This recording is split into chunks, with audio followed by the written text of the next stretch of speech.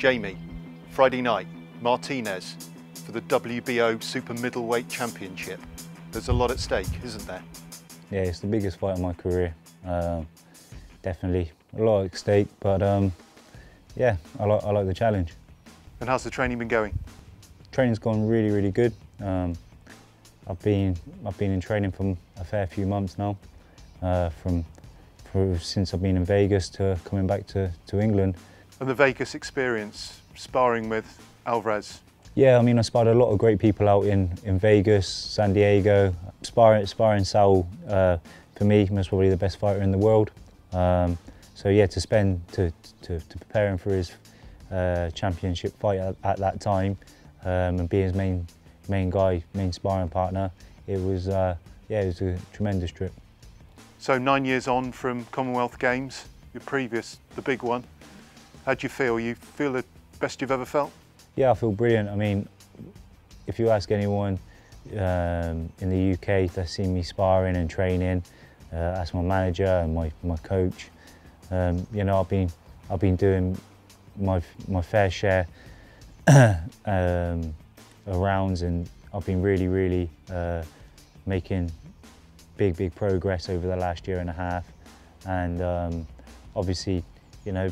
I've been I've been sparring and the people ain't even been lasting so I know what I can do with people and, and the weight of course 168 you used to fighting at 160 so this is a step up for you. Yeah I'm, I'm a 160 fighter. I, I was potentially meant to be fighting Chris Eubank on this show at 160 uh, middleweight. And um, obviously for whatever reason I don't think they wanted the fight at 168 there's an opportunity because I know I deal with people I've been sparring world class people at 168 super middleweight and I know what I can do with them so you know it's an opportunity and I'm, I'm not shy of an opportunity so the WBO European come up and uh, meant to be fighting Lee Markham Lee Markham pulled out of the fight. Uh, he's willing to fight Buglioni, but he's not willing to fight me. So, you know, that's in a way, you know, that says a lot.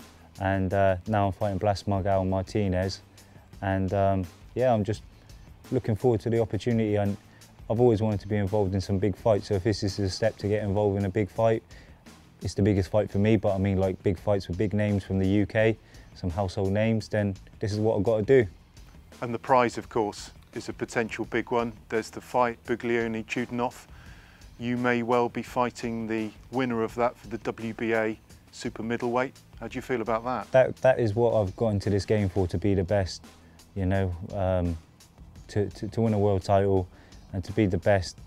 I think if anyone gets involved in sport, whether it be javelin, cricket, football, you want to be the best, and and that, that that's what I'm in this game for. And I want the challenge, I want the test, um, and and you know, if it's Chudinov or Buglioni, it will be another fighter, another human being, and uh, yeah, we just prepare the same, and just go and do another job. And your age now? You're 28.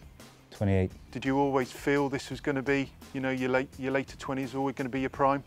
Uh, maybe I'm just a, a late blossomer, and uh, but 28, they say between 28 and 32 or 35 is your prime. So, you know, I'm, I'm just entering that now and hopefully it works for me.